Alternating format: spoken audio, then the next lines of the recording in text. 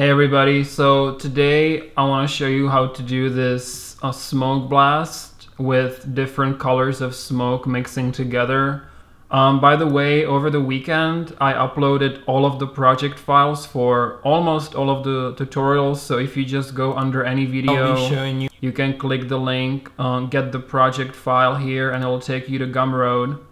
And I've basically uploaded all of the project files for you guys for free so you can follow along and this applies to this tutorial as well. So you can just go in the description and get the project file for this. So let's go into max and make this from scratch. So first let's go under customize unit setup and this time make sure that you're in in meters. So metric meters and one unit is one meter because we want this to be pretty large scale so now we need some kind of an object which is irregular so that we'll get this nice plumes going in all directions. So I just created a torus knot under extended primitive. So you just you can just drag that out and make it look something like this.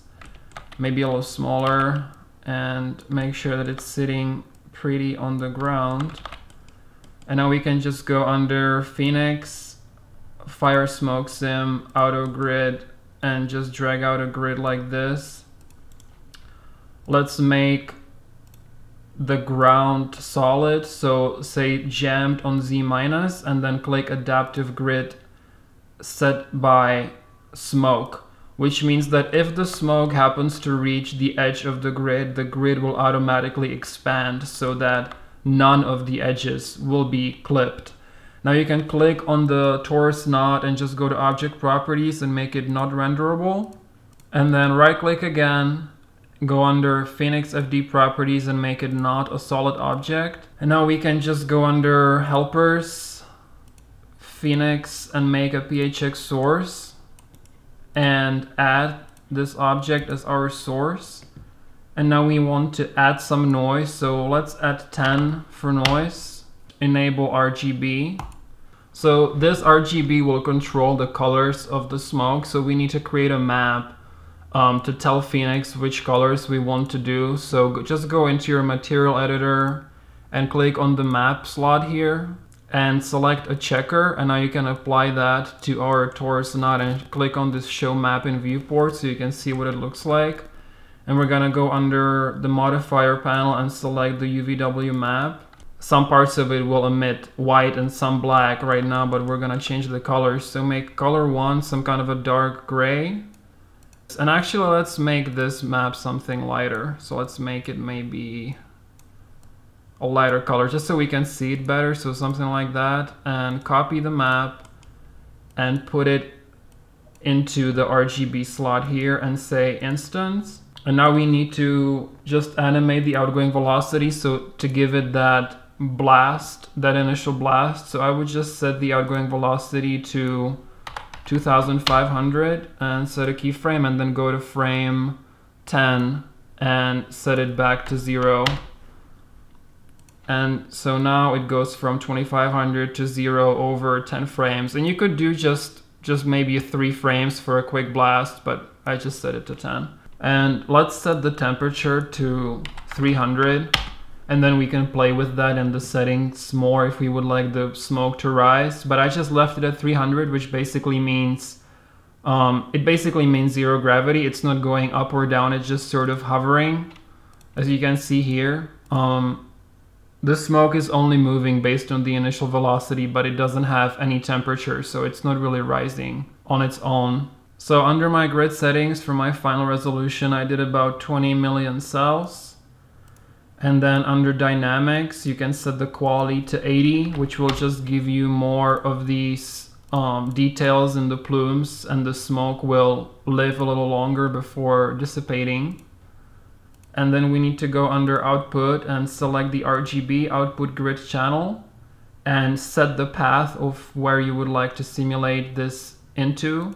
If you would like motion blur, then make sure you check velocity. I rendered this one without motion blur, but it's something you can do.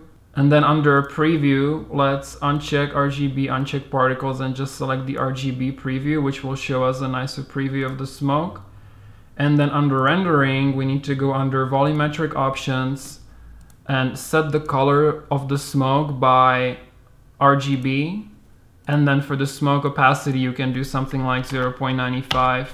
Um, the more opacity the smoke has, the more larger scale it will appear. So that's good for that. And now let's just run a test simulation and make sure that everything's working. All right, so I lowered the resolution just to get this preview out to you guys faster. But you can see that everything is indeed working. The, the colors of the smoke are mixing together. So at this point, you would just raise the resolution and let it sim through.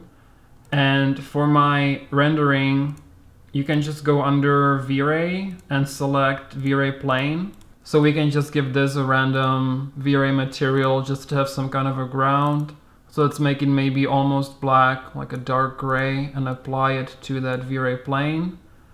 And then we can go under lights and do V-Ray sun and just drag out a V-Ray sun like this, say yes, um, raise this up. And then you can go under rendering environment and just under exposure control give it a regular V-Ray exposure control which is the quickest way to get something that looks pretty good and now if I just hit render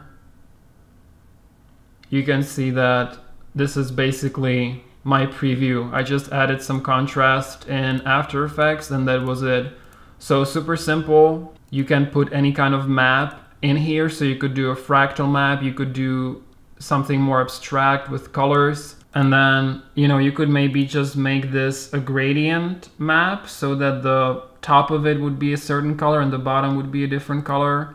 And that way you could control um, the color of the smoke on the z-axis and stuff like that. So definitely lots of interesting stuff you could do. Hope you guys found this little tip helpful. If you did, as always, I would appreciate a thumbs up. Thanks so much for watching and I'll talk to you later.